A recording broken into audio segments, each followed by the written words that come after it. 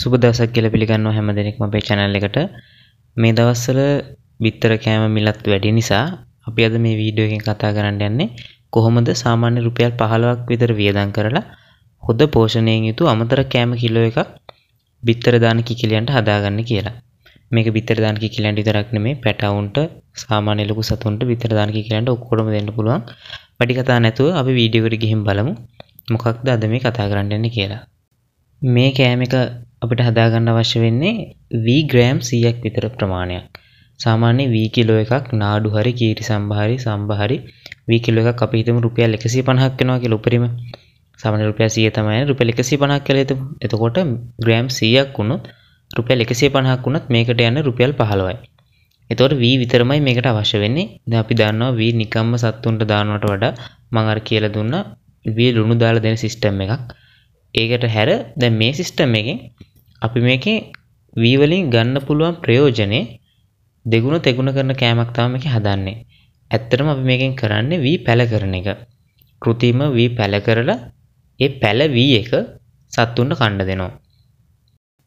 අපි සාමාන්‍යයෙන් නිකම්ම වී ග්‍රෑම් 100ක් දැම්ම කියමුකෝ. ඒතකොට වී ග්‍රෑම් 100 දාපුවාම මේ වී ග්‍රෑම් 100 විතරනේ කැවෙන්නේ. එතකොට මේකෙන් මෙන්න මේක පැල කරලා දුන්නහම ඒ සතාට මේකේ තියෙන කොළ මේකේ තියෙන ඇටේ මුල් මේ හැම එකක්ම ඒ සතාගේ කෑමට එකතු වෙනවා. එතකොට V ග්‍රෑම් 100ක් පැල කරොත් සාමාන්‍යයෙන් ඔයාලට මේ පැල ගොයන් පොඩි අගල දෙකේ සයිස් වෙච්ච පැල වෙච්ච ගොයන් සාමාන්‍ය කිලෝ එකක් හෝ ඊට වඩා වැඩි ප්‍රමාණයක් ගන්න පුළුවන්. කිලෝ එකක් හෝ ඊට වඩා වැඩි ප්‍රමාණයක් මේ V ග්‍රෑම් 100කින් ගන්න පුළුවන්. ඉතින් මම කියලා දෙන්න කොහොමද නිවැරදිවම මෙන්න මේක හදාගන්නේ කියලා නිකන්ම පැල කරගන්නවට අපි නිකන් බිම දාලා මේක පැල කරගන්නේ නැහැ.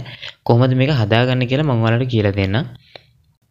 පළමුව කර යුත්තේ මේ V ග්‍රෑම් 100 අරගෙන ඒකෙන් මේ බොල් V ඉවත් කරලා බොල් V තිබ්බත් කමක් නැහැ. බොල් V ඉවත් කරලා ඒක වතුර එකක දාලා ඒක දැන් අපි දෙපාරක් තුන් පාරක් විතර පොඩ්ඩක් හොද ගන්න ඕන. ඒ V එක දෙපාරක් විතර හොද ගන්න ඕන. ඊට පස්සේ ඒක වතුර භාජනයක දාලා සාමාන්‍යයෙන් රාත්‍රී දෙකක් විතර. ඒ කියන්නේ රෑ දෙකක් විතර. අද උදේ දැම්මොත් අද රෑයි හෙට රෑයි තියලා අනිද්දා තමයි ඒකේ වතුර අයින් කරන්න ඕන. රාත්‍රී දෙකක් හෝ තුනක්. රාත්‍රී තුනක් වගේ තියාගන්න පුළුවන් නම් මේ V පැලවෙන ප්‍රමාණය පැලවෙන වේගය වැඩි. ඊට පස්සේ එන්න එහෙම රාත්‍රී දෙකක් විතර අපි තියලා මේ V එකේ වතුර පෙරා ගන්න ඕන. වතුර පෙරාගෙන මේ V ඇට ටික අපි වෙන් කර ගන්න ඕන. ඊට පස්සේ අපිට මේකට ඌමනා වෙන්නේ සාමාන්‍ය පොඩි ට්‍රේ එකක් ප්ලාස්ටික් ට්‍රේ එකක් වගේ තිබ්බොත් හොඳයි. දැන් හැමෝටම ප්ලාස්ටික් ට්‍රේ ගන්න බෑනේ. තිබ්බොත් ඒ ප්ලාස්ටික් ට්‍රේ එක ගන්න එක හොඳයි. එහෙම නැත්නම් අපිට මේකට මේ ගෝණියක් භාවිතා කරන්න පුළුවන්. ගෝණියක් අරගෙන ඒ ගෝණිය එල්ලලා මේසයක් හරි කොහේ හරි තැනකින් තියලා ඒක උඩට මෙන්න මේ අපි මේ වතුර වලින් පෙරාගත්තු මේ වී ටික දාලා තුනී කරන්න ඕන ඉස්සෙල්ලා. ඊට පස්සේ ඒ වී එක ඒකට පොඩ්ඩක් වතුර ඉහන්න ඕන. දැන් මේකට අපිට සාමාන්‍යයෙන් ස්ප්‍රේ එකක් භාවිතා කරොත් ගොඩක් හොඳයි. හැබැයි හැමෝටම දැන් ස්ප්‍රේ හොයාගන්න බෑනේ. එහෙනම් මම කරේ වතුර බෝතලයකින් වතුර ටිකක් ඉස්සා. ඊට පස්සේ ඒක ආයෙත් ගෝණියකින් වහලා ඒක උඩින් ආයෙත් වතුර ටිකක් ඉහලා ඒක උඩින් මොන හරි බරක් බරක් කියන්නේ සාමාන්‍යයෙන් මම මෙතනදී භාවිතා කරේ උළු කැට දෙකක්. ඔයාලට සාමාන්‍යයෙන් ගෙදර උදරේ ওই ලෑලි කෑලි දෙකක් ටිකක් බර ලෑලි කෑලි දෙකක් එහෙම මොන හරි දෙයක් තියන්න පුළුවන්. මොකද මේකට උඩින් බරක් වැටුනහම මේක පැලවෙන වේගය වැඩි. එතකොට ඔයාලට පුළුවන් අපි හිතමු අද දවසේ උදේ මේක පැලේ වී එක දාලා අපි තෙමලා උඩින් මොන හරි බරක් තිබ්බොත් අද හවසට ඒ අපි අර උඩින් තියපු උළු කැට හරි ලෑලි කෑලි දෙක හරි අයින් කරලා වතුර ටිකක් දානවා. ආයෙත් හෙට උදේට දානවා. ඊට පස්සේ හෙට හවස වෙනකොට මේ වී ටික අනිවාර්යෙන් මුල් ඇදලා පැය වෙලා තියෙනවා. එතකොට ඔයාලට මේක බලා ගන්න පුළුවන්. දවසින් දවස ටිකෙන් ටික මේක වර්ධනය වෙනවා. එතකොට මුල් ඇද්දහම ඔයාලට මෙන්න මේ ලෑලි කෑලි ටික අයින් කරගන්න පුළුවන්. ලෑලි කෑලි දෙක අයින් කරලා අර උඩ අපි දාපු ගෝණිය හැම තියලා ඒකට වතුර දදා ඉන්න පුළුවන්.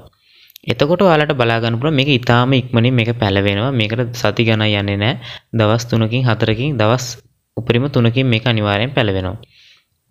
එතකොට ආයෙත් මේකට අපි වතුර දාලා එතකොට ඔයාලට බලා ගන්න පුළුවන් මේකෙන් කොළ පාටට පොඩි මොටේයෙක් දාලා තියෙනවා. එතකොට මේක පැලවෙන්න පටන් අර ඒ ගොබේ එන්න පටන් අර. එතකොට ඔයාලට හිමීට වතුර ටික දානකොට අර උඩින් අපි දාපු මේ එක අයින් කරගන්න පුළුවන් ගෝණිය රෙද්ද අයින් කරගන්න පුළුවන්. ඊට පස්සේ ඊටාම කෙටි කාලයක් ඇතුළත වරු දෙකක් තුනක් ඇතුළත මේක වර්ධනය වෙලා මේක උඩට එනවා. සාමාන්‍ය මේක සෙන්ටිමීටර දෙකක් දෙකහමාරක් තුනක් වගේ ප්‍රමාණයක් පැලවුණාම ඇති. ඔයාලා කැමති නම් ඊට වඩා ප්‍රමාණයක් මේ පැල කරගන්න සාමාන්‍ය දවසට දෙපාරක් වතුර දැම්මත් ඇති. දැන් අපි මේක ගෝණියක දැම්ම නිසා දැන් අපි ප්ලාස්ටික් ට්‍රේ එක දැම්ම නම් අපිට මේක මෙහෙමම අයින් කරලා ගිහින් සත්තුන්ට දාන්න පුළුවන්. දැන් ගෝණියක දාපු හින්දා අපිට එකපාරට මේක අයින් කරන්න බෑ. හේතුව මේක අර ගෝණිය යටින් මුල් ගිහින් තියෙන හින්දා. එතකොට මේක මෙහෙමම ගෝණිය පිටින්ම ගිහින් සත්තුන්ට දෙන්න පුළුවන්.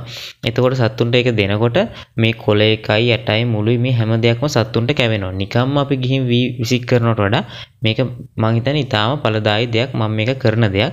එතකොට දැන් V කිලෝ එකක් ඔයාලා ගත්තොත් ඒ කිලෝ එක මෙහෙම ග්‍රෑම් 100 කොටස් 10කට කඩන්න පුළුවන්. එතකොට හැමදාම මේ පොඩ්ඩකට වතුර දානවට වඩා ඔයාලට අර පිළිවෙලකින් හදාගත්තොත් ඒ කියන්නේ අද මෙහෙම V පැලවි සෙට් එකක් දෙනවා එතකොට තව දවස් දෙකකින් විතර පැලවි සෙට් එකක් දෙන්න තව ටිකක් තියෙනවා. ඊට පස්සේ දවස් 3කින් විතර පැලවි සෙට් එකක් දෙන්න තව පැලවි ටිකක් තියෙනවා. එතකොට ඔයාලට උදේ ගිහින් හරි හවස ගිහින් හරි වතුර දානකොට අර කොටස් තුනකට එකවර වතුර දාගන්න පුළුවන්. එතකොට අර ඔයාලගේ මහන්සිය අර ඉතුරු කාලය ඉතුරු වෙනවා. එහෙම තමයි මම නම් කරන්නේ කොටස් කීපයකට බෙදලා ගිහින් පැලවි ටිකට වතුර දාගන්නවා. එතකොට සතියට දවස් තුනක් විතර සාමාන්‍ය මගේ සතුන්ට මෙන්න මේක මට දෙන්න පුළුවන්. මෙහෙම කුකුල් කෑම මිල යනකොට මිල වැඩි වෙනකොට අමතර කෑම වලට අපි යොමු වෙන්න ඕන. ඒ අමතර කෑම වලට යොමු වෙනකොට මේ අමතර කෑම වලින් අපි බලා ගන්න ඕන සතාට නියමිත පෝෂණය ලැබෙනවද කියන එක. ඒ නියමිත පෝෂණය ලැබෙන්නේ නැත්නම් මේ අමතර කෑම දීලා වැඩක් නැහැ. දැන් මේ අමතර කෑම කිලෝ එක වගේම මම තව වීඩියෝ එකකින් මම අයිත් කියලා දෙනවා තවත් වෙනත්ම විදිහේ අමතර කෑම කිලෝ එකක්. අපි දැන් මේ කිලෝ එකට රුපියල් 15ක් විතර වියදම් වුණා කියමුකෝ. දැන් ඊළඟ කිලෝ එකට එහෙම ලෙක්චරවත් ලොකු වියදමක් යන්නේ නැති එකක් මම කියලා දෙනවා.